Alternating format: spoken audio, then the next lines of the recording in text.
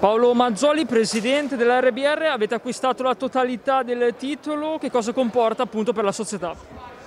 È un bel eh, passaggio, è un bel eh, momento perché era diciamo, il titolo storico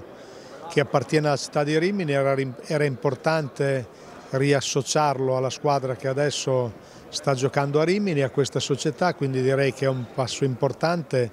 per la conferma e per la crescita del basket a Rimini che ha una storia, come dimostra questo titolo, molto importante, ma credo abbia, possa avere un futuro altrettanto importante e altrettanto di soddisfazione. In conferenza stampa ha parlato anche dell'ingresso di due nuovi soci, ecco, possiamo introdurli e far sapere anche chi sono? Sì, eh, entrano altri due soci, sono altri due soci importanti, uno è Luca Vici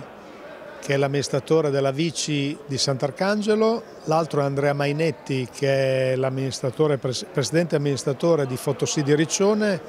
credo sia la conferma del fatto che anche in questi momenti un po' difficili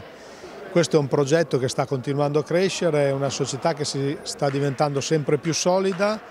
ed è una società che ha, progetti, ha un progetto a lungo termine che non si pone limiti alla crescita. In vista dei nuovi campionati ci potrebbero essere delle sorprese, Rimini sarebbe pronta per un salto in A2? Ah, dobbiamo vedere, lo stiamo discutendo